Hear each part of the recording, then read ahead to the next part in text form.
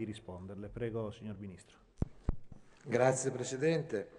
Come evidenziato nelle premesse dell'atto dall'onorevole interrogante, la Camera dei Deputati ha approvato l'ordine del giorno numero 2845A con il quale si è inteso impegnare il Governo a procrastinare la data del 30 giugno 2021 l'esecuzione delle procedure di recupero degli alloggi di servizio nei confronti di conduttori di cui l'articolo 306 del decreto legislativo 66 del 2010.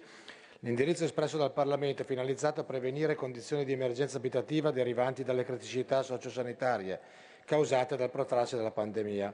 Appare necessario in questa sede enunciare, seppure per sommi capi, gli articoli di interesse per una migliore comprensione dei fatti, nonché per avere un quadro di riferimento normativo certo.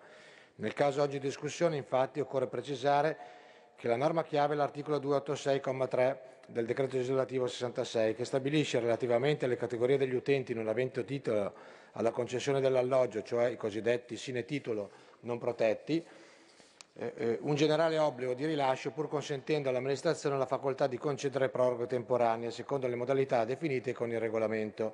In questo ambito, altra norma di interesse è l'articolo 333 del testo unico dell'ordinamento militare che relativamente alla tempistica degli alloggi condotti da utenti sine titolo non protetti non prevede che la data di rilascio sia predeterminata legge, per legge. In buona sostanza, da quanto esposto, è la stessa legge a prevedere la possibilità per l'amministrazione di concedere proroghe ancorché dettate da condizioni di eccezionalità, quali quelle appunto riconducibili all'attuale fase di emergenza pandemica.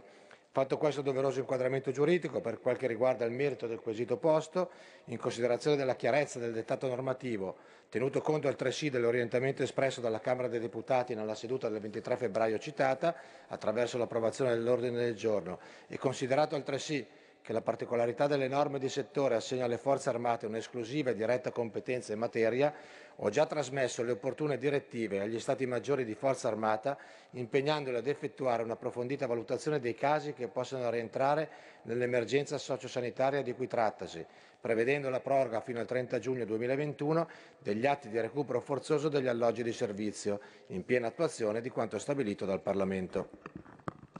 La ringrazio Signor Ministro, ha facoltà di, eh, di replicare il deputato Andrea Frailis. Prego. Grazie Presidente, grazie signor Ministro, io mi ritengo soddisfatto della uh, sua uh, risposta. Vorrei aggiungere una